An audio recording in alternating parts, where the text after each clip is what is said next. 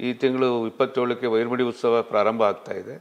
ಅಷ್ಟರಲ್ಲಿ ನನ್ನ ಕ್ಷೇತ್ರದ ರಸ್ತೆಗಳನ್ನು ರೆಡಿ ಮಾಡಿಕೊಡುವಂಥ ಕೆಲಸ ಮಾಡಬೇಕು ಅಂತೇಳಿ ಪ್ರತಾಪ್ ಸಿಂಹ ಅವರೇ ಬಂದು ನೋಡ್ಕೊಂಡು ಹೋಗಿದ್ದಾರೆ. ಇಲ್ಲಿ ಗಂಟ ಅದ್ರ ಬಗ್ಗೆ ಚಕಾರ ಇಲ್ಲ ಎತ್ತಿಲ್ಲ.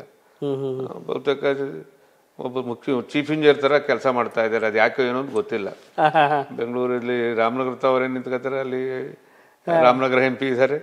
ಮಂಡ್ಯದಲ್ಲಿ ಬಂದ್ರು ಅಲ್ಲೇ ಅವ್ರೇ ನಿಂತ್ಕೊಂಡು ಮಂಡ್ಯ ಎಂ ಪಿ ಅವರು ಇದ್ದಾರೆ ನೀವು ಹೇಳೋದು ಮೂರ್ನಾಲ್ಕು ಕಿಲೋಮೀಟ್ರು ಅವ್ರ ವ್ಯಾಪ್ತಿಗೆ ಬಂದ್ರು ಉಳಿದಂತೆ ನೂರ ಮೂವತ್ತು ಕಿಲೋಮೀಟರ್ ಅವರೇ ಓಡಾಡ್ತಾವ್ರೆ ಏನು ಅಂತ ನನಗೆ ಅರ್ಥ ಆಗ್ತಾ ಇಲ್ಲ.